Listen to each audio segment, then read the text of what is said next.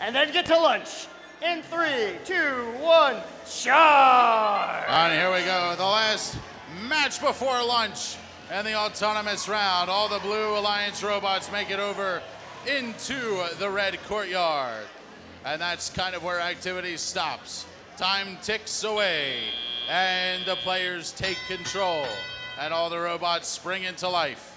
1712 remains motionless, calculating their next move, no doubt.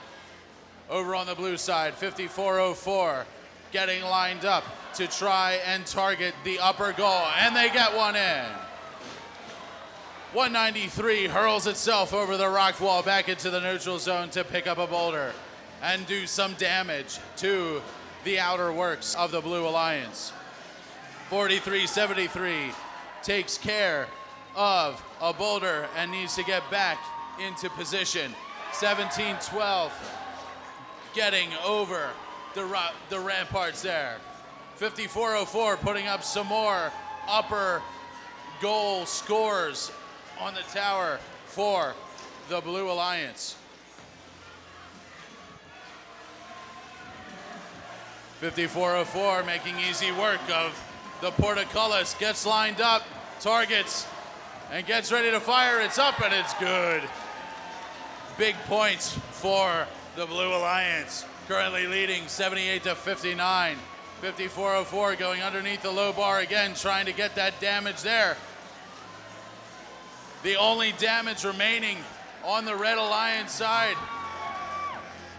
The blue tower is ready to be taken by the Blue Alliance.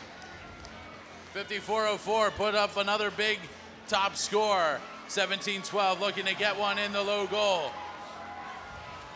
35 seconds left. All the blue robots head over to the captured red batter while the red alliance struggles to do some damage to the tower for the blue alliance. Less than 20 seconds left to play.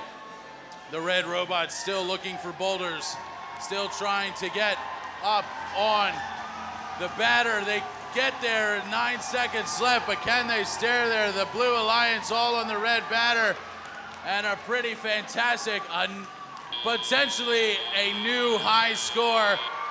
We're gonna get some penalties assessed and figure out what that final score is, and we'll be right back in just a second.